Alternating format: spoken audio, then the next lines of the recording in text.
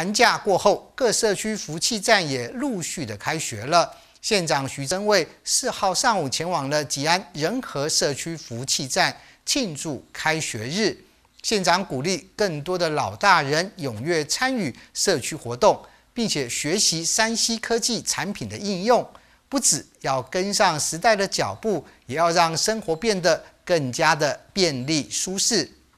过了一个寒假，社区福气站的老大人们也很期待赶快开学，可以见见老同学。吉安乡仁和社区福气站三月四号开学日，出席的长辈人数特别多，几乎是全员到齐。县长徐正卫特别到场和老人家们相见欢，也鼓励老大人们多多参与社区活动，也要学习山西科技产品应用，让生活更有智慧又便利。长辈如何使用？我们的电话这些这个部分，就是减少我们的数位落差。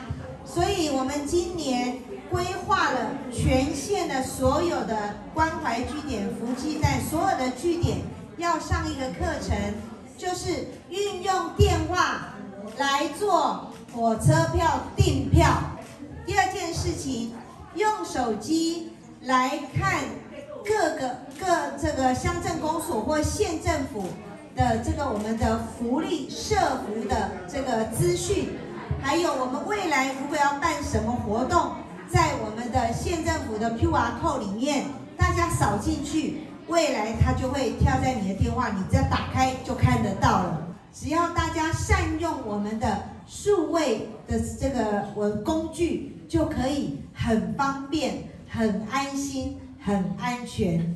县长还准备了开运福袋，还有环保保温袋，送给每一位老大人。收到礼物，老人家都笑开怀。